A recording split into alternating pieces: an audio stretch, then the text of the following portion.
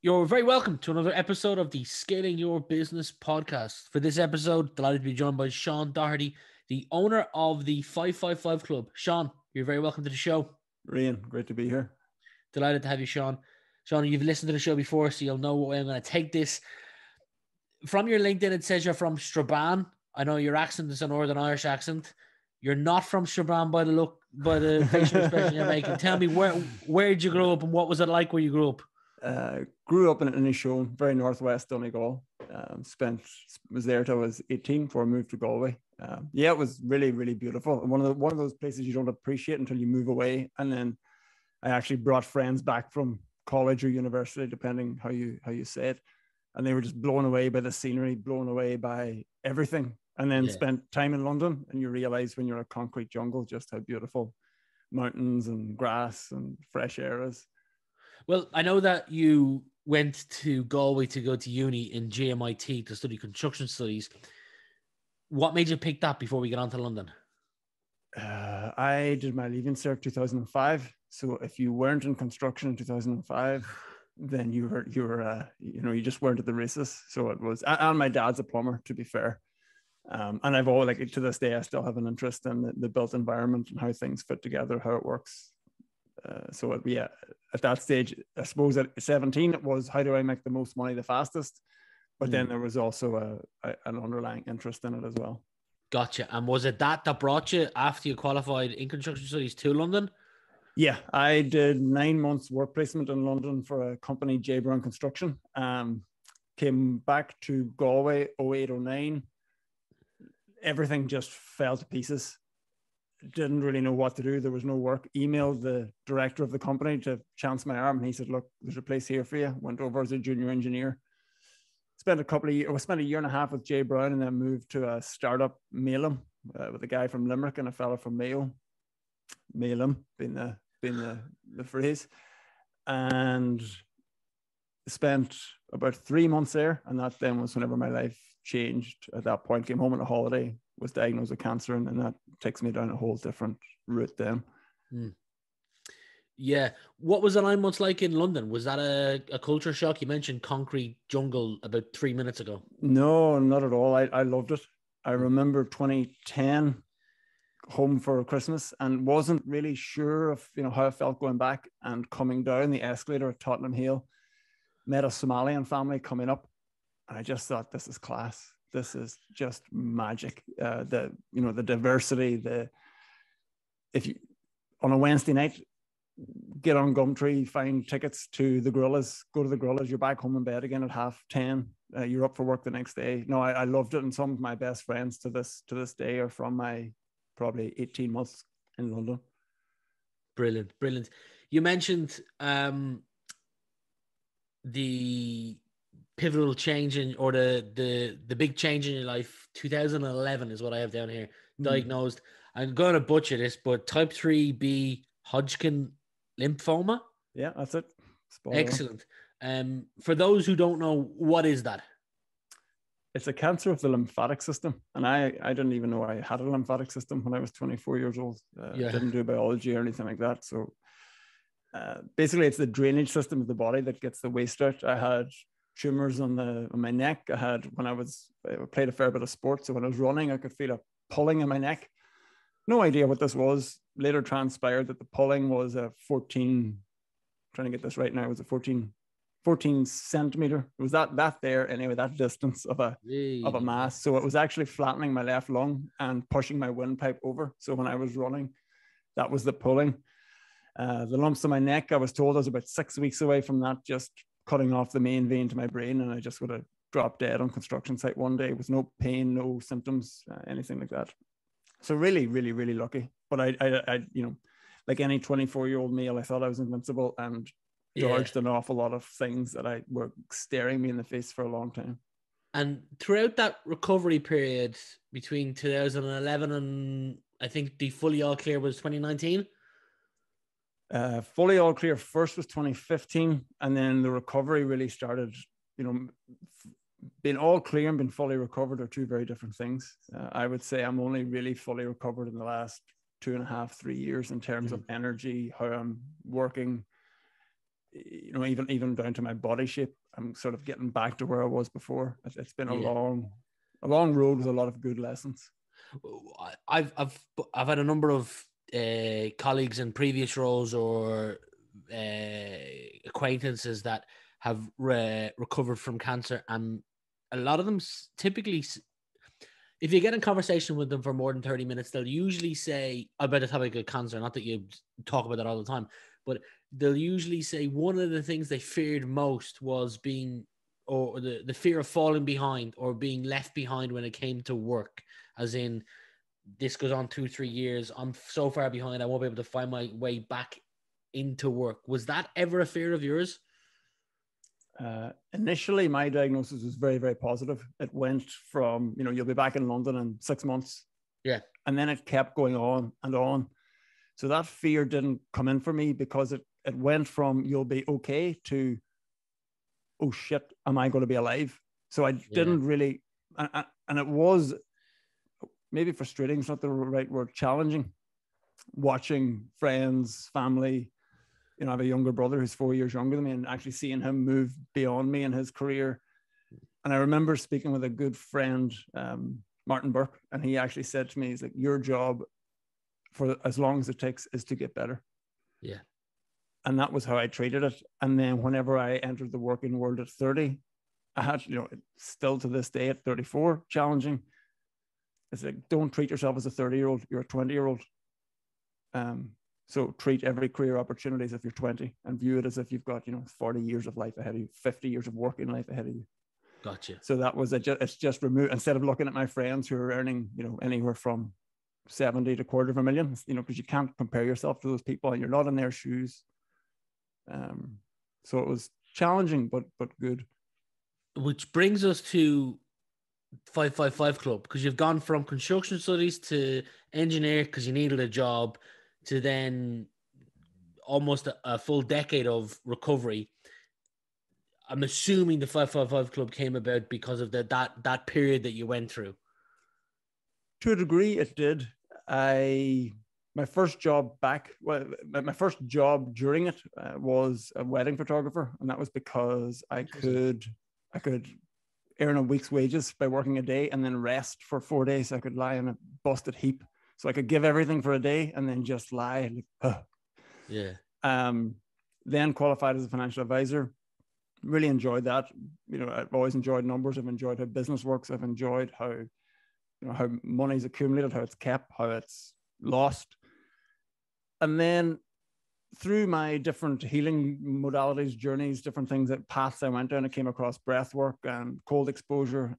Uh, so, like anything I do, you know, it wasn't so much as I wanted to take it as a business, but I wanted to learn more about it. So I studied with Patrick McKeown in Galway for the Oxygen Advantage. I studied with Alchemy of Breath, and you know, they're, they don't.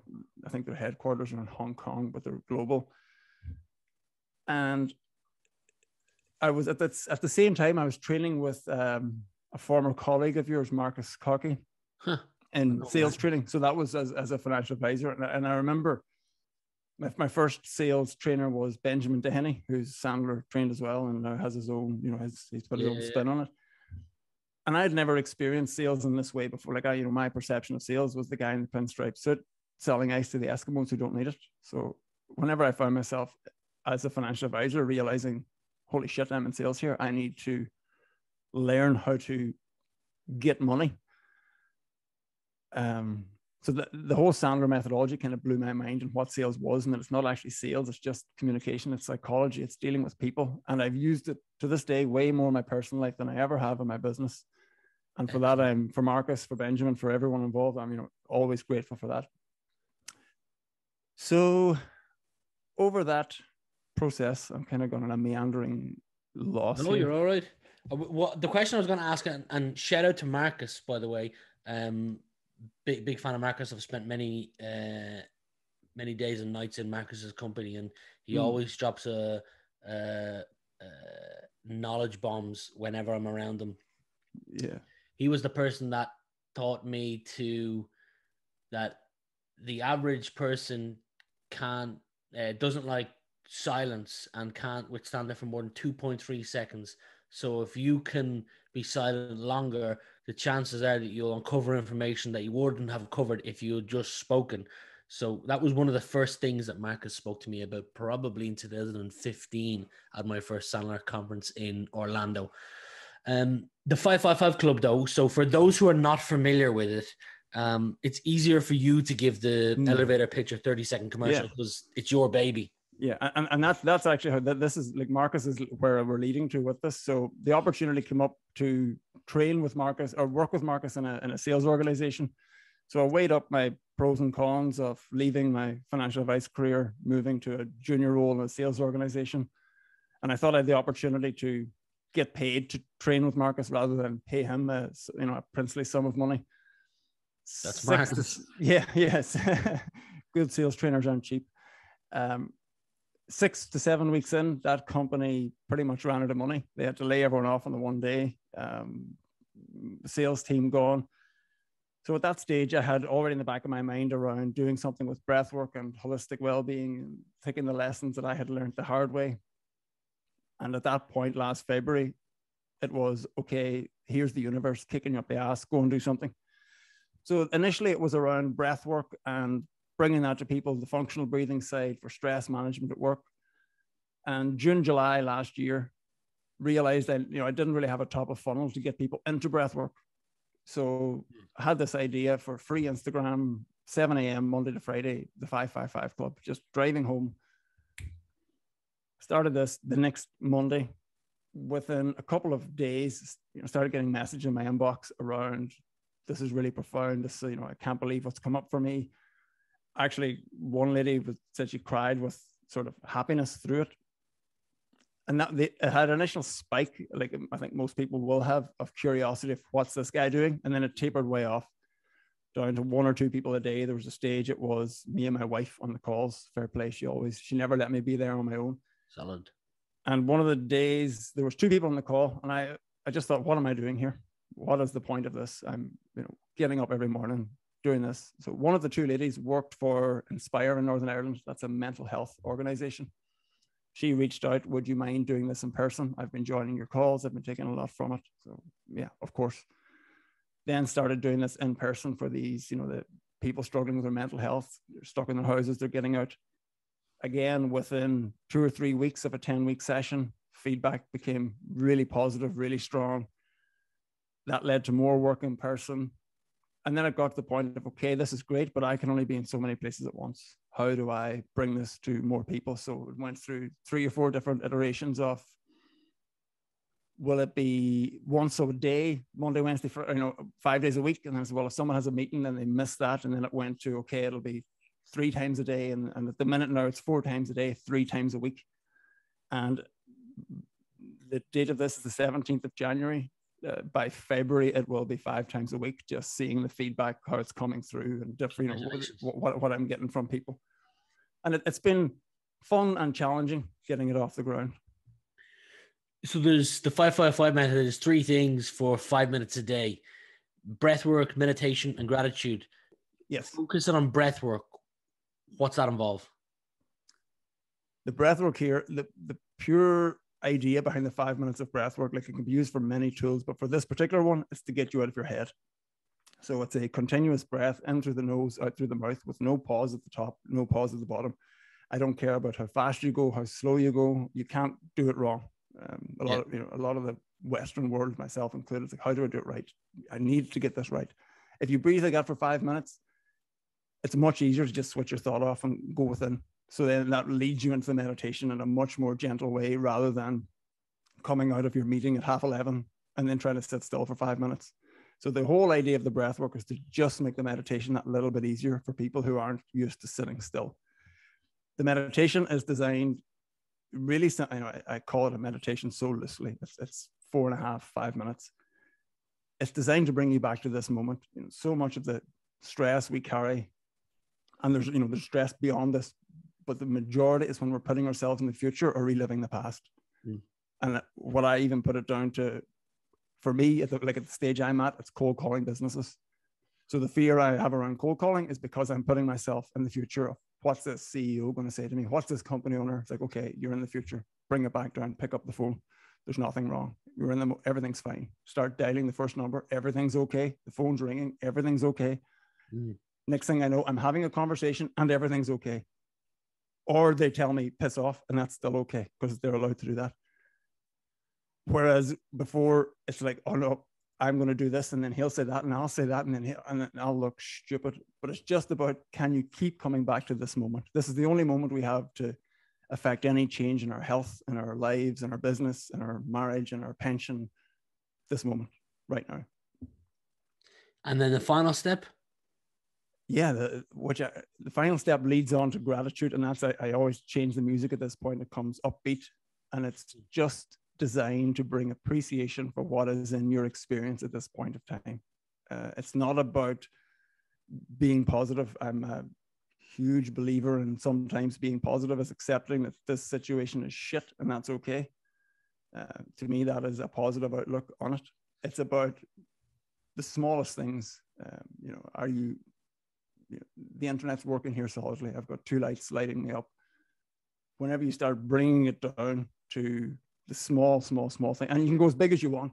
You know, someone in Ireland won the lotto over the weekend. Yeah. You know, they have something to be grateful for this morning. But in six months, when they're used to the trappings of 19 million, it'll be the small things that make the difference. And it's yeah. just about bringing that in, um, appreciating what's going good, acknowledging what's in your experience that's working in your favor. I see you're a fan of Wim Hof. I am. I am. Wim Hof changed my life, and I don't say that lightly. How so? One of the side effects conditions of my, not my, of the stem cell transplant is a condition called graft versus host disease. So that is where my donor cells, in my case, it was my sister. I was very lucky. She's a straight line match. Attack my cells. Um, yeah. She's also the person noticed the lumps on my neck. So she saved my life twice. Wow. What's your sister's name, by the way? Maria. Well, shout out to Maria. Yeah, she doesn't lord it over me, which is which is nice. I do appreciate it. Um, so one of the one of the conditions is what graft versus host disease, and it can materialize in many, many, many different ways. The way I have it is I have a mouth that doesn't really produce saliva that much, so I will always have a pint of water beside me, and I get rashes. So the rashes were quite painful um, and sore, and I just was told this is you know this is what it is. Get used to it and in the grand scheme of things, quite a small side effect to have. I'm alive. I'll, I'll live with a few rashes. Mm. So October 2018, uh, Joe Rogan episode 712 with Wim Hof. Uh, just felt didn't know who the guy was. Felt called to the episode. Literally was scrolling through the episodes on Pocket Casts. Stopped, listened, listened for the two hours. Just put it straight back to the start and listen to it again and he was mm. talking about um, bone marrow function, T cell, uh, different, basically everything that was wrong with me. My bone marrow wasn't working at the time. I was on Neupogen twice a week, which is a, an artificial stimulant for your immune system. I was on EPO once a week, which is the same stuff Lance Armstrong was jacked on. um, you know, pushing the wheelie bin out would absolutely exhaust me. Uh, climbing stairs, pooped. So these drugs kept me functioning. Mm. And thought, you know what, flip it, I'll try it. What, what is there to lose? I'll start having cold showers and doing breath work. And within a pretty short space of time, and I used to get recurring sinus infections as well from radiotherapy to the side of my head. So what I found was when I did the breath work every morning, I was clearing my sinuses in through the nose, out through the mouth. So I was clearing my sinuses of stuff that I didn't know was in there, which would eventually down the road get infected. So because I was keeping my sinuses clear, there was nothing there to get infected. And then from the cold exposure, and I didn't twig this until about a month later, whenever on a Saturday morning, I just said, you know what, I'm going to treat myself to a warm shower. Had the warm shower, came out and was like, oh, ah, there's the rashes that I haven't noticed in four weeks. So just started playing, and people always ask, well, how do I know if this is going to help me? Like, try it. Just yeah. and, and if it doesn't, stop doing it. If you don't feel better, stop doing it. And if you do feel better, keep doing it, or at least know that you have it in your arsenal that you can come back to it. Mm-hmm. Everyone seems so caught up, and again, getting everything so right before they do anything. So just give it a go. What have you got to lose? Put the shower to cold for two minutes at the end of your shower. And if you if, if you don't feel better after two weeks, stop doing it. It's not for you. And that's that's been my approach to everything. Try it. Yeah, yeah, that works. Okay. And then pull it back. And and that's that's that's my you know, that's the science that I've applied to it. And there's I haven't gone very deep with the science because for me it's does it help me? It's like, yes. You from I've listened to a couple of podcasts that you've been on in prep for this, and you talk a lot about gratitude. And to me, it springs to mind IR theory, and that you mm.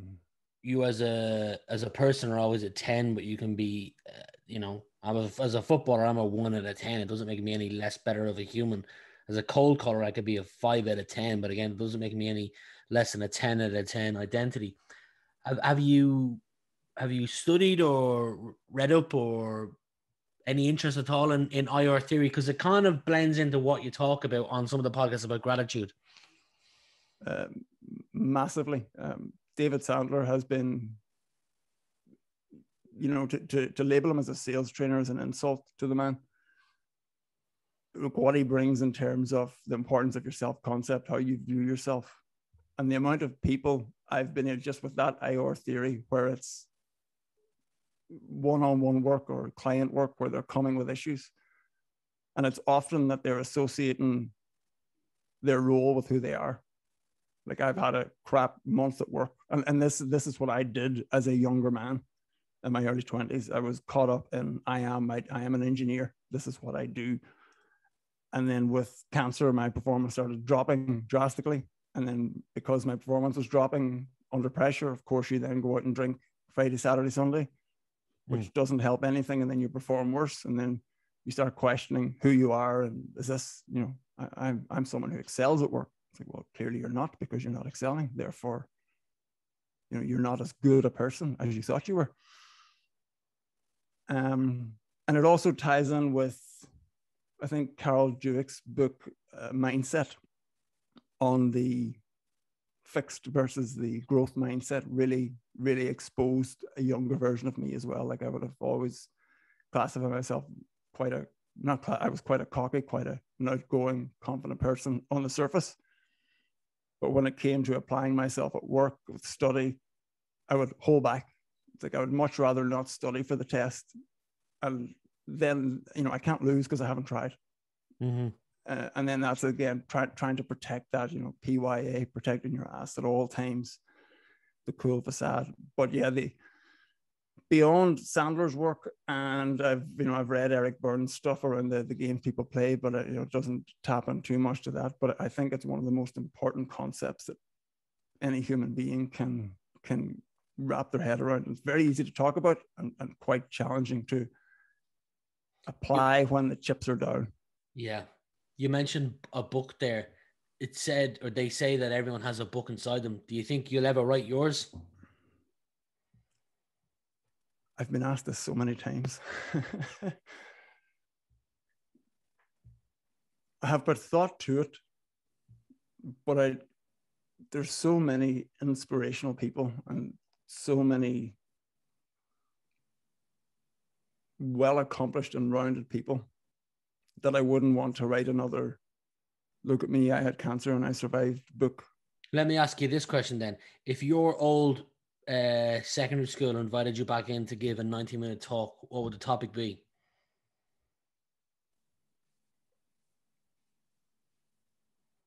You're not your grades. You're not the, you're you're not the topics that you're weak in. Hmm. So, with that being said, have you got a definition of what you believe success is? Mm, I, I've, am I allowed to pick more than one? Sure. I have several. There's for a long stay in, in my teens, early 20s, success was, you know, get a helicopter and fly around the world and be a multi-billionaire. And then honestly, at about 26, success was being able to walk a flight of stairs without stopping.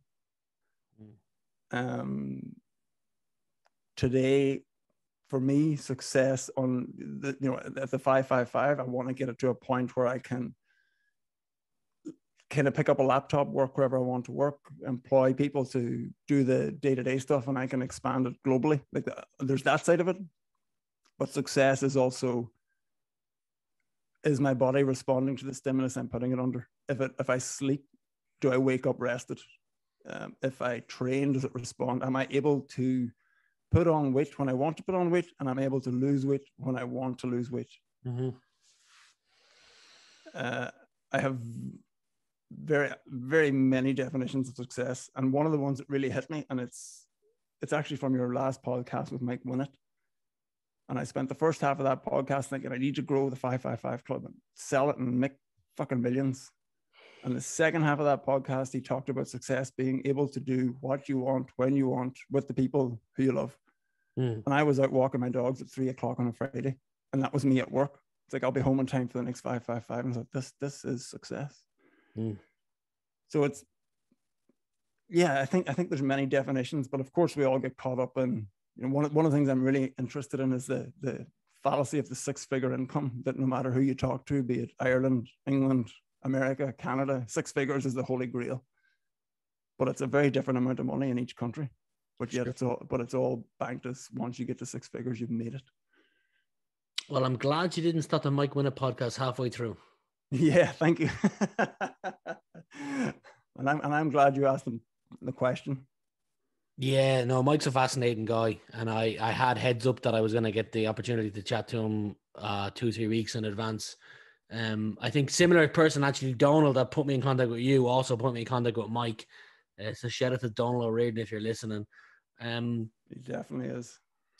Yeah, I've got one or two more questions for you before you wrap up you've probably heard one or two of them before, but is there a tool out there with all that that you do? I think you said you do uh, Tuesday, Wednesday, or three days a week, four sessions, and you want to get to the five, and you hope to have the business at a point where you can bring on people to manage some of the operation side of things. So, is there an ideal tool out there that you want to give a shout out to, or a tool that you could not remove from your day to day, that like you couldn't live without? the very obvious one for me at the minute is there's there's several of them. Um, LinkedIn Sales Nav, because that's where I am getting my prospect list from, and then the the software that lets me get people's direct access mobile numbers. It's just it's it's ridiculous what you can achieve in this day and age with you know 150 200 quid yeah. zoom like everybody on zoom like this is a, a, people are so obsessed about building an app and getting stuff done. Like this is perfect for me. Everyone has it. Everyone can get on it. And yeah, no, you're right. We I, I use Zoom as well monthly for events, and it's you you combine LinkedIn Sales Navigator and the correct outreach and referrals and lead IQ or Zoom info, and, and you can get 100 to 400 people on on, on a mm. Zoom call. And and one thing I will say that's not a tool, but it's a a product of paying for good sales training and networking events. It's not so much, yes, the knowledge is great, but the people that you're getting access to, who you can become your friends, the network of people who you can pick up the phone and talk to when things are shit or you're wondering how would they approach a situation. Uh, that that has really been invaluable to me over the last 12 months the network effect is something people rarely talk about, but to me, it's so powerful. Like you look at a lot of these big universities, you can pick any of them for an internationality, you might pick Harvard. And it's not just the degree that you're paying to get, it's also the network that you're paying to be able to access as well, mm-hmm. because that's huge. Private schools, the network you're being able to pay to access. You go down to something as free as the podcast that I'm running right now this is going to be episode 165 mm-hmm. um even my father's podcast he's like 104 105 episodes recently as a recent of as of last week we sat down and we looked at the guests that he has on the show and we were like what kind of guests do we want this year and we're going more towards kind of vp of sales EMEA kind of headquarter companies and we went to the previous guests and we said you know thanks for being on the show you've contributed to the success this is the kind of guest we're looking for. Have you got anyone in your network? And the amount of people that we got referred to from that who are then happy to come on because they've been referred by someone who they know really well. And I looked at a couple of the names and I said, Well, I've tried to get four or five of these people on the podcast, but I've never gotten a response. And now because we've got an introduction from someone they're familiar with, they're coming back to us. It's crazy. Yeah. It's, it, it's, it's crazy, and I, I think people overlook that massively. That uh, fucking he's charging that a month. It's like yeah, but look, you're getting around. Mm. You know, like like that's one of the things that I will attribute like whatever small business success I've had so far has been my ability to overstretch myself at the early, you know, with my finances in terms of my savings, save up, go to a networking event that I can't afford to be around people who are earning 15 times what I'm earning. Stay in touch with them continually. Like, don't ask, just be a sounding board for these guys as often as they need it. And it has it has paid back infinitely. And it was never an intention to get it paid back. But I've just seen with network, with connections, with advice, with friendships, it has been it's been phenomenal. So the final question of the podcast is if you could add a mandatory subject to the secondary school curriculum, what would it be and why? I'd like to put a spin on that question. And it's not it's, it's not adding something, it's rather a, a change of perception away from you need good grade. You need to get 500 points in the leaving cert, which is a, a good result for any UK listeners. Um, you need to then go to university and then you need to go do a master's. It's Like it's not the right path for many. Mm. Like I didn't, if I was 18 and someone showed me SaaS sales, I'd have been gone. Sign me up to this company. Teach me this. I didn't know it existed. I didn't know it existed until Marcus told me about it. It's like you're a plumber, or a carpenter, or a lawyer, or an accountant. That's it. Uh, I think careers advice would benefit a lot from getting people in to talk about it to students rather than having teachers talk about roles that they've never actually worked in or experienced. Uh, and I think again, going back to Sandler, that there's there's too much credence given to grades and not enough to listen. He's messing about a bit in school, but he's he's a very impressionable person and he makes friends very easy, and he's going to do all right for himself. Don't stress about it don't worry too much about your grades out there. I got 355 points in my leaving cert, and I'm relatively happy where I am with life. Mm. But but then it comes back to, are you giving what you can give? Mm. You know, like don't don't use that as an excuse to take your foot off the gas at whatever level you're at. Uh, absolutely, absolutely. Shaun, it's been a pleasure having you on the podcast today. I will leave links to. I'm assuming you'll send them to me post the podcast to where people can get more information on the 555 Club, your social channels, and anything else you want to included, just let me know and we'll include it afterwards. But for today, thanks for being my guest. Beautiful. Thank you, Rian.